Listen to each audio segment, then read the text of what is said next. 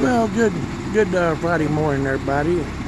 Down here, uh, I'm over next door at the neighbors here on Easy Street. Right over there is, uh, well, the driveway of the Easy Street home place. Sanders Easy Street home place, that is.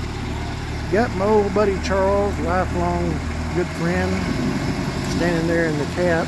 Well, in the white cap, I should say. And that's his backhoe and a guy working for him. And they're fixing up Easy Street.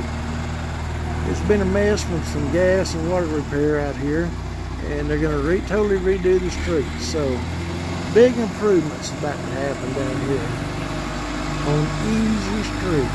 And are happy campers about it. I want to tell you, that's uh, one of the city councilmen right there, in the, the uh, on the left, right there in the blue T-shirt, and uh, had another councilman down here yesterday, and then had another councilman down here this morning so we got three city councilmen involved, and uh, got uh,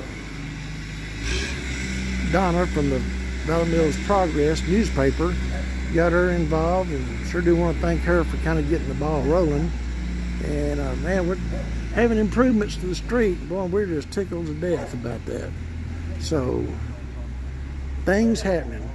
And it's trash day today, or Friday, so that's where everybody's trash canisters out. But anyway, progress on Easy Street. Yes, sir, Bob. Yeah, so loving it. Anyway, y'all have a good weekend, and we'll see you on the next video. So long, everyone.